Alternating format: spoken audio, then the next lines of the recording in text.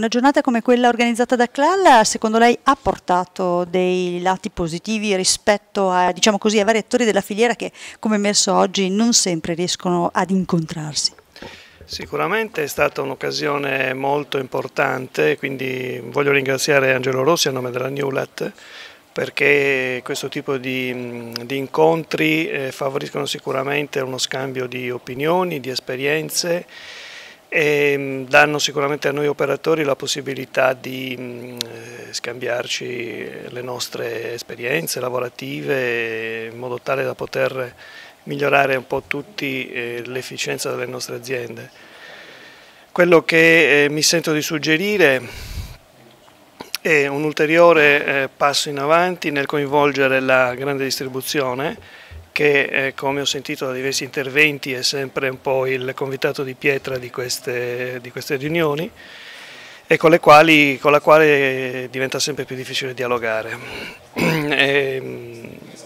un altro eh, punto importante secondo me è anche quello di coinvolgere le istituzioni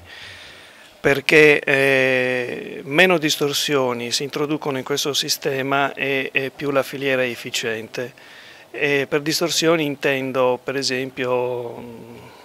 ultime, eh, uno degli ultimi provvedimenti legislativi in Italia è quello dell'indicazione della materia prima in etichetta che per noi eh, sicuramente comporta un, eh, un, aggravio di costi ed è un elemento distorsivo della, della, della filiera. Ecco, quindi in queste occasioni sarebbe opportuno eh, avere tutti gli attori in modo tale da poter confrontare le proprie esigenze e poter eh, eliminare quei fattori che poi rendendo la filiera meno, meno efficiente scaricano inevitabilmente sugli attori più deboli eh, questo tipo di inefficienze. Ma etichetta significa anche qualità, come garantire da questo punto di vista la qualità? La qualità eh, posso garantirvi che viene tutti i giorni eh, testata eh, dal, dal mangime fino alla tavola del consumatore. Noi come industria di trasformazione eh, continuiamo ad investire nei, eh, nella qualità, continuiamo ad investire nei controlli perché sicuramente il fattore premiante di chi ha la marca e deve difenderla eh, a tutti i costi, insomma deve poter garantire al consumatore la, la,